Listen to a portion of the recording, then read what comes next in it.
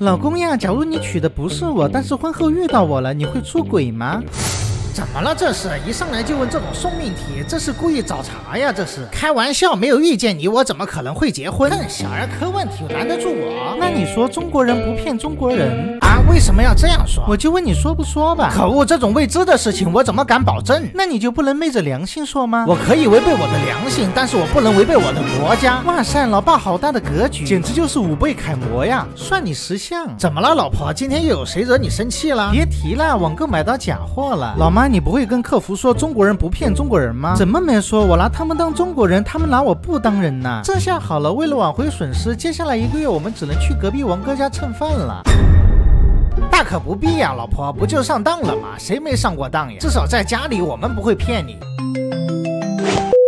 宝贝，和他爸，你经常玩手机，没有跟别的女人聊天吧？没有，绝对没有。你说中国人不骗中国人，中国人不骗中国人？不对呀，他怎么说的这么轻松？难道给你打电话的不会是男的吧？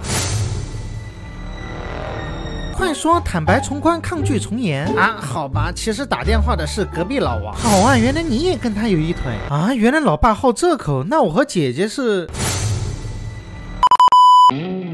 兄弟，你信任我吗？当然信任，真的吗？你说中国人不骗中国人，中国人不骗中国人，好兄弟，好兄弟，信任我就借我点钱用用啊！我我没钱，真的吗？那你说中国人不骗中国人啊？你说呀？我对你的信任只存在于精神层面，跟物质挂钩就不行了。精神层面是哪一种？简单来说，就是你跟我的对象躺在一张床上，我都认为是他勾引的你，居然被你发现了，嗯。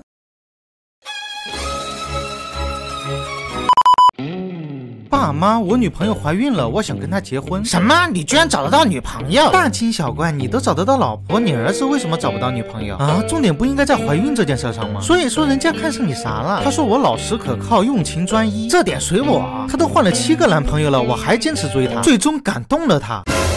儿子，你确定她怀的是你的？应该是吧。哎，你可别走了你爸的老路呀！啊，我的意思是你爸也是未婚先孕啊。你们父子俩一天天净往歪了想。果然男人没有一个不是老色皮。我反对发明听诊器的医生就是不想把自己的耳朵凑到女人的胸口听心音。是呀，发明了听诊器之后就可以把手伸进去了。哎，有道理。所以只要会呼吸的男人就是好色的。那不一定，像我这种正人君子就不会做出这种事情。是吗？你平时都是七点回家，昨天怎么晚了两分钟？是不是去？去找隔壁王翠花了，晚了一点多正常，何况两分钟我能干什么？两分钟你能干嘛？你心里没点数吗？啊，咱能不能不提这件事儿了？哦，怪不得我也这么快，原来是谁爸，这可把我坑惨了。这有啥？你也没少坑你爹啊！我哪里坑爹了？你做的最坑爹的事情就是从小要跟着妈妈睡，我怎么不记得？可能是因为你被你老爸打失忆了啊！你别光说我们，你也没少坑我，每次出门都要化半个小时的妆，一催你就说两分钟就好了，害得我每次都迟到。大惊小怪，你说好的半个小时不？也就两分钟吗，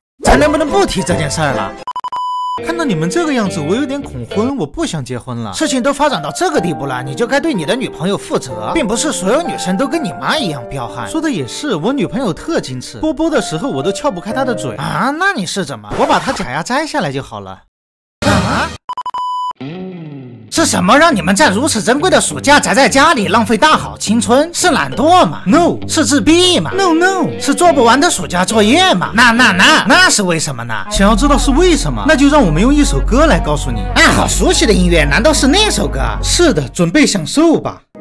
太阳公公太勤奋，热得我们丢了魂。如果家里没空调，我们就跳桥。如果我们掉进水，请你先救我的美。因为天气这么热，我想多跑会。热吗？热啊！这毒的太阳去耍不去，我不想脸变黑。只那暑假中的灾难与宅女。唱的很好，我求你们下回别唱了。我们只是小录一首，反正想要我们出门，那就是三个字，不可能。假期不出门，那就是在浪费生命。出门了，那才是真的要命。胡说，这天再热，能热到哪里去？我看你们就是太矫情了。小婉跟你妈小时候可没有空调，不照样过来了？再说这天气再热，也热不过我的心。太阳再烧，那还能有我烧吗？老爸，你还真是海边盖房子，愣到家了。我倒要看看这太阳到底有多少。啊？烧烧太烧了，快帮我把火灭了！爸，你快想想你每个月的工资啊，再想想你的年纪啊。想想以后我们家得出的彩礼和嫁妆钱。够了，别说了。再想想你藏在鞋底的私房钱。啊，再想想你和王阿姨的聊天记录。嗯，王阿姨，老老婆，你听我解释，我跟她没有任何关系，我这辈子只爱你一个，我对天发誓。啊谁他妈又乱发誓啊！我去，老爸，求雨这件事还是你行啊！以后再也不用怕天气太热了，你说是吧，老爸？是倒是，不过怎么有点感觉喘不过气？